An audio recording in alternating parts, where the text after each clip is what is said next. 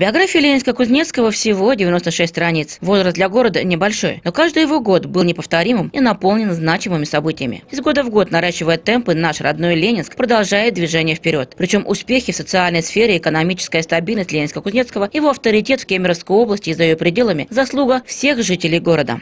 Трудом, упорством, мужеством и талантом многих поколений жителей развивается Ленинск-Кузнецкий.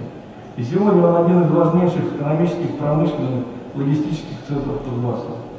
Благодаря вам Ленинск-Кузнецкий теперь гордо носит название города трудовой доблести и воинской славы. Ленинск-Кузнецкий активно включился в реализацию всех национальных проектов и подготовку к 300-летию начала промышленного освоения Кузбасса. Значительные перемены произошли в сферах ЖКХ. Строятся новые дома, ремонтируются школы, открываются новые спортплощадки, растет промышленный потенциал городских предприятий. На торжественном собрании медалью 300 лет образования Кузбасса был награжден 21 ленинск-кузнечанин, внесший вклад в развитие региона. Из года в год Ленинск-Кузнецкий меняется, движется вперед, преодолевая трудности и сохраняя то, чем он славится – культурой, традициями, дружбой людей разных национальностей.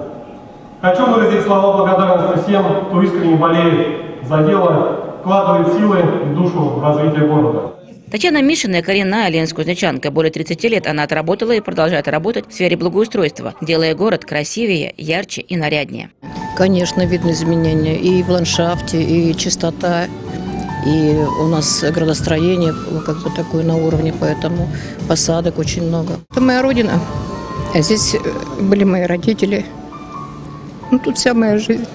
Сегодня в честь России и Дня города лучшие представители, учителя, полицейские, работники культуры, социальной и коммунальной сферы награждены медалями, почетными грамотами, благодарственными письмами администрации городского округа. Среди награжденных неоднократный победитель первенства России по пауэрлифтингу Алексей Насонов.